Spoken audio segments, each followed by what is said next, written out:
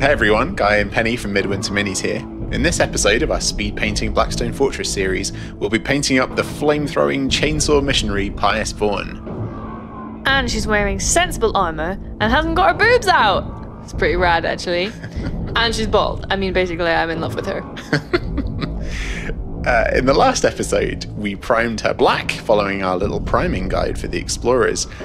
Again, I'll be using a timer to show you how quickly you can get this model game ready. So let's start it, and using some black paint to cover up any areas that the primer didn't quite touch.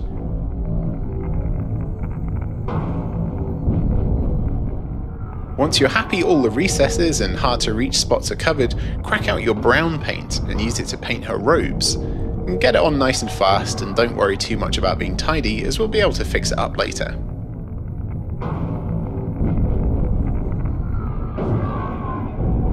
Now, grab your pale flesh tone. For this series, we've been using Citadel's Zandri Dust. It masks off the black very effectively with just one coat, so we'll use that on the two areas of fire to lighten them up for later. We'll also use this colour to paint the little bone inset into the weapon, the pages of the book on her hip, her face, the parchment hanging between her legs, and the purity seals.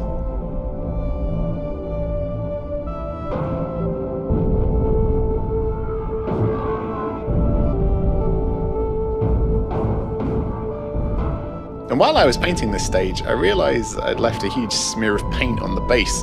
And lucky this happened at the start of the paint job and not the end, huh? Because of the weird design of Citadel's paint pots, it's very easy to get paint on your thumb as you push the lid up.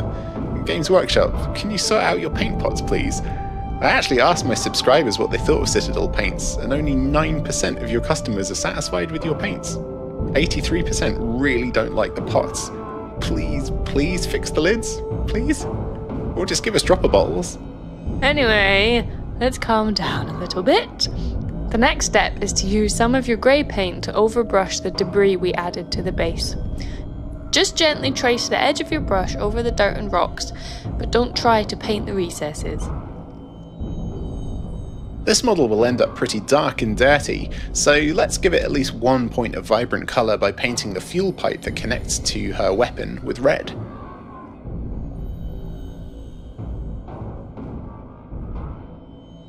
If you've got any brown or grey on her boots by mistake like me, grab your black paint now and quickly tidy them up. Now, let's mix an off-white with a one-to-one mix of our white and pale flesh tone. Use this colour to paint the face, which should go on nicely over the previous colour. We'll also paint the book pages and the little bone inset into the weapon. What type of bone is it, Dr. Penny? A fake one. No. Oh.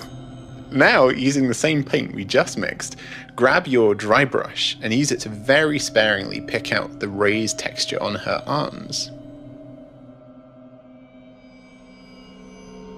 Uh, next, we'll use our gold paint to paint her spiky halo, uh, the cover of her chain blade, and the fetish dangling between her legs.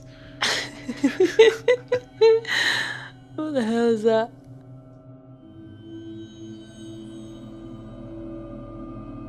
I'd like to keep her armour quite dark, so I mixed black with silver in a one to one ratio and used it to paint her cuirass, pauldron, gauntlet, and the tasset on her right thigh. This is like a, a video of listing strange words. Look, I have extensive medieval armour knowledge. of course you do. Thanks to Google. Religious iconography. I also used it to paint the casing of her weapon. And now, just using our silver paint, thinned with a little water, we'll paint the valve on her fuel pipe, as well as the chain blades, the metal tube on her weapon, and the censer and chain hanging at her leg. The incense dangle bangle, as I like to call it. Dangle bangle. Uh, also, paint her mask and the fuel tanks with the silver too.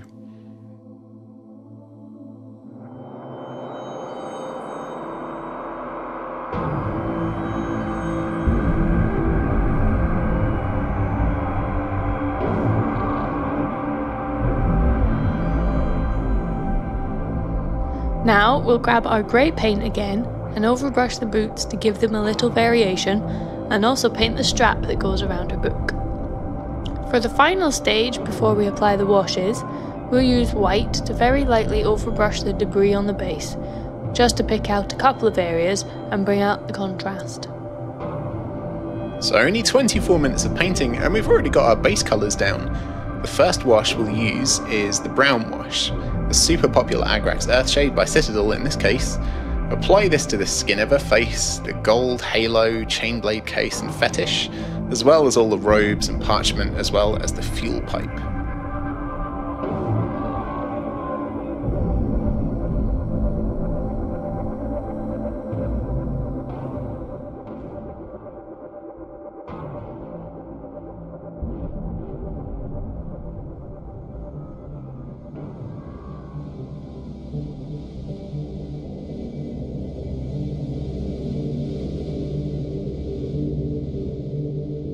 While you're waiting for that to dry, you can use your black paint to tidy up the base and its rims. As always, be careful to avoid any of the grey rubble you added.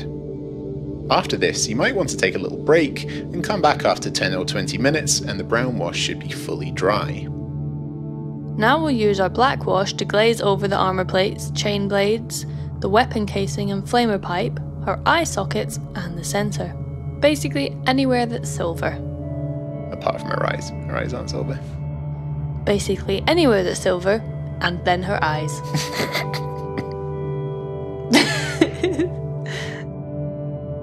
so now we're half an hour into our hands on painting time, and it's starting to look pretty awesome actually, if I do say so myself.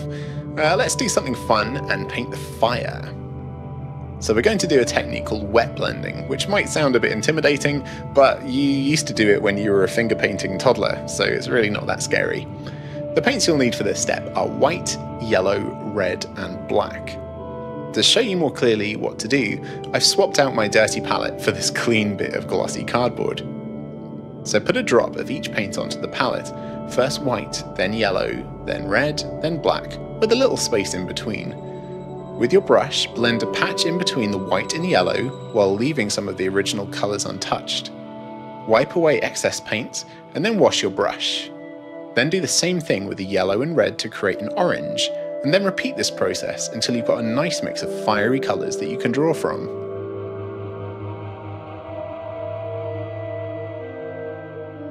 Start by painting the whole flame white, starting at the base of the flame and working towards the tips.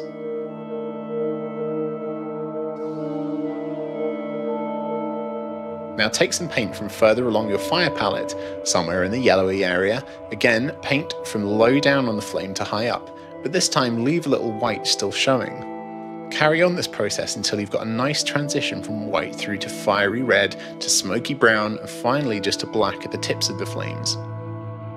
Fire is great for practicing this technique of blending wet paints. Fire isn't exact and you can stop when you're satisfied. If you hate it, you can always just try again without obscuring important details. If you need to add more yellow or red, as these colours can easily become desaturated by the white and the black, feel free. There aren't really any rules, just have fun. So after six minutes of building up the flames, we've got some awesome looking fire. And at this point, you could definitely say the speed paint was over. But as always, I'll show you a few more easy steps to bring out some of the details. Mix brown with your pale flesh colour in a one-to-one mix, thin with a touch of water, and use your detail brush to create streaks on her robes. Avoid the recesses and try to focus on the tops of the ripples and folds.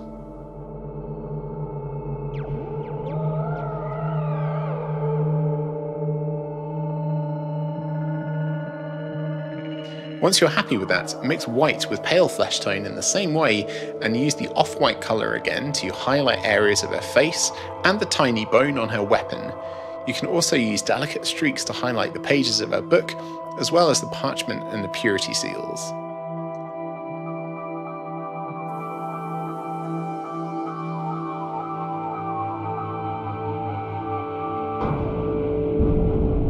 If you want to make the red pipe pop a little more, mix red and yellow in equal parts and pick out the top facing surface. You can also use this colour to add a bit of warm mid-tone back into your fire if you feel that it's a little washed out. Next, we'll use our silver paint to catch the little decorative corners of a book, as well as the clasp. You can use your detail brush to pick out little scratches and patches on the metallic parts too, like the flamer pipe, You can also add a little line of silver along one edge of the little nicks on the gold case of the flamer. Now we'll mix our dark silver paint again using black and silver in a one-to-one mix and use it to catch raised or rubbed areas of the armour plates. We're not really edge highlighting, but just using our detail brush to catch parts you think might have seen hits, scrapes or knocks.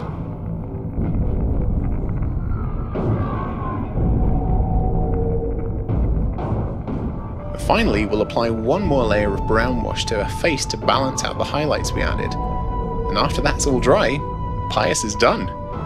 And before we show you the model, just a quick shout out to Jonas, Zoltan, Laurier, Romero, Jeremy, Tony, and Conrad for being our heroes this week and supporting the channel. We really appreciate your donations. Thank you so much. So, in only 49 minutes, we have another Blackstone Fortress Explorer painted up and ready for action. In the next episode of our Blackstone Fortress series, we'll be painting the friendly, helpful, not suspicious at all Imperial robot UR025. We'll see you then! Bye for now. Bye!